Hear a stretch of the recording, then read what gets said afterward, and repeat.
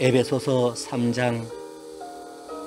이러므로 그리스도 예수의 일로 너희 이방인을 위하여 갇힌 자 된 나 바울이 말하거니와 너희를 위하여 내게 주신 하나님의 그 은혜의 경륜을 너희가 들었을 터이라.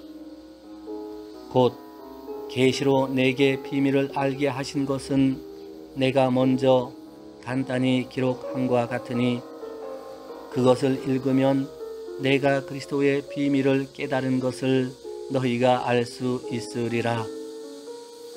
이제 그의 거룩한 사도들과 선지자들에게 성령으로 나타내신 것 같이 다른 세대에서는 사람의 아들들에게 알리지 아니하셨으니 이는 이방인들이 복음으로 말미암아 그리스도 예수 안에서 함께 상속자가 되고 함께 지체가 되고 함께 약속에 참여하는 자가 됨이라.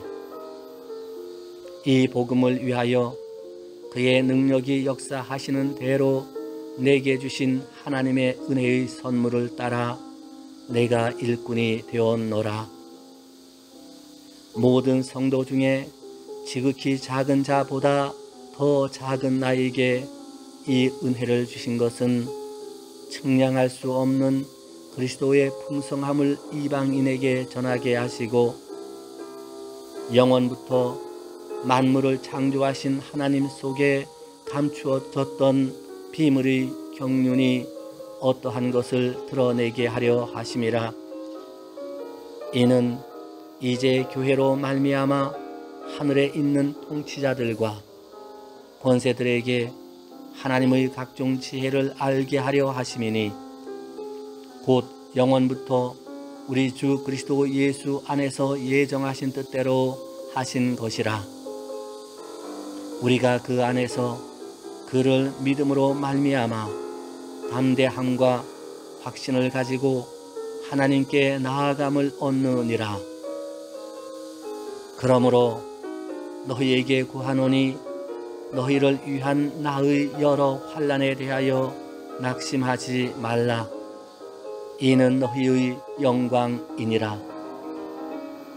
이러므로 내가 하늘과 땅에 있는 각 족속에게 이름을 주신 아버지 앞에 무릎을 꿇고 비노니 그의 영광의 풍성함을 따라 그의 성령으로 말미암아 너희 속사람을 능력으로 강건하게 하시오며 믿음으로 말미암아 그리스도께서 너희 마음에 계시게 하시옵고 너희가 사랑 가운데에서 뿌리가 박히고 터가 굳어져서 능히 모든 성도와 함께 지식에 넘치는 그리스도의 사랑을 알고 그 너비와 길이와 높이와 깊이가 어떠함을 깨달아 하나님의 모든 충만하신 것으로 너희에게 충만하게 하시기를 구하노라.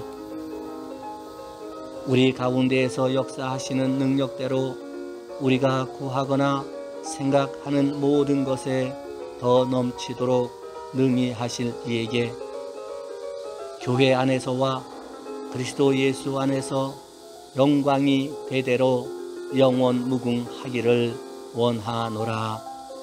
아멘.